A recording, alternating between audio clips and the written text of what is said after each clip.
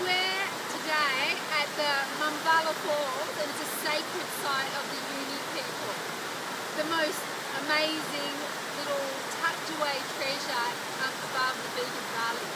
We've just been looking at these rocks, they're so smooth, washed by these waters for millions of years. This is a very noisy place but an absolutely beautiful, energetic and magical place that we're here in the middle of this amazing forest today.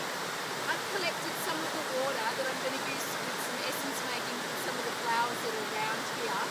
There's not so many right down here next to the waterfall, but there's lots and lots of plants as well. So I'm going to go for a bit of a hike and find some more.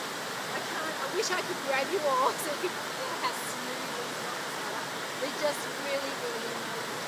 Have a look at this beautiful water coming through this powerful surge. I can hear a little frog now. Isn't that gorgeous? He's, he's over there somewhere. Can't quite see him, but hear him.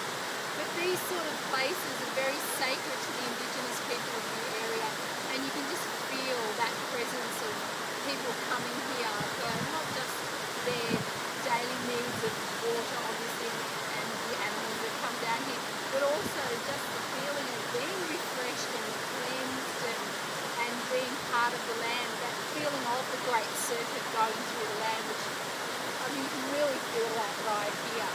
So blessings from the